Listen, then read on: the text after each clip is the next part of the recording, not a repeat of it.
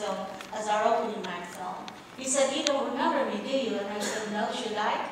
His very first feature film was actually screened in Temecula 14 years ago. So it's just a coincidence. 14 years later, he submits the film and we happen to select it for our opening night.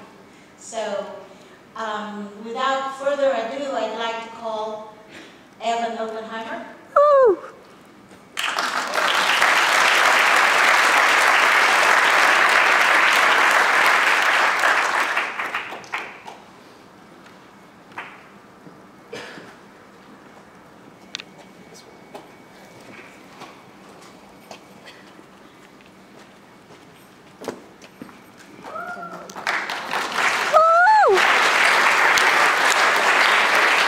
Hi, everybody. Um, I want to introduce you to Makenna Ballard, who is the star of the film. Um,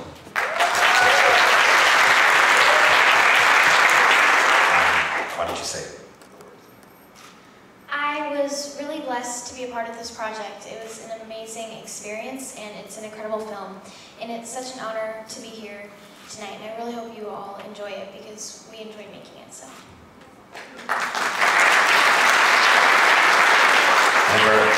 Hoping that at the end there'll be time for a quick Q&A. I guess we'll see when it's over. Um, that would be fun.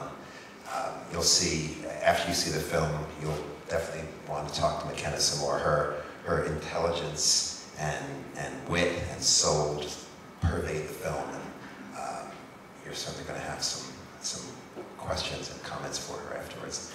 Um, you know, I'm, there's one other thing that's kind of interesting that I didn't know about, and I'm, I'm really happy to see that, that Deaf West is here because I have a lot of deaf family. And in fact, you probably know my cousin, Shoshannah Stern. Um, she was a, was a, a wonderful deaf actress who was in one of my movies and will hopefully be in, in others of mine. It's very funny. Um, and Joe didn't know that. Nobody knew that until, until just now. It's fantastic.